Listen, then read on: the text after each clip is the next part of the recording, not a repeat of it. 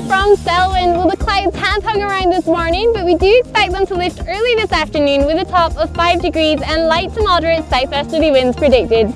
Overnight, our team of groomers did another fantastic job laying down some corduroy, and with all lifts accessible and a firm packed cover of snow on our slopes, it's going to be a great day up here at Selwyn. If you are coming on up, do check out our Snowflake Park, which is in excellent condition and offers snow tubing and tobogganing for the whole family.